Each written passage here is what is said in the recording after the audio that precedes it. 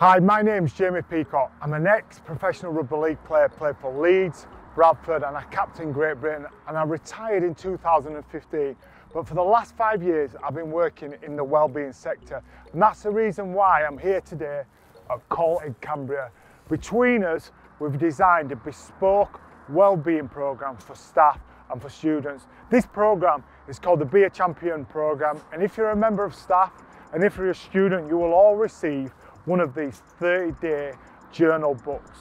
This program though is more than just a book because on the inside cover of this is a QR code which will lead you to a 45 minute presentation by me that will help you embed and build strong well-being habits in the four pillars of well-being which are positive mindset, sleeping well, eating healthily and being physically active.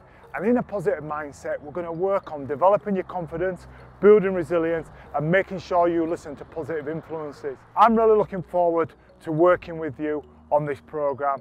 I think you can become a champion in your own well-being.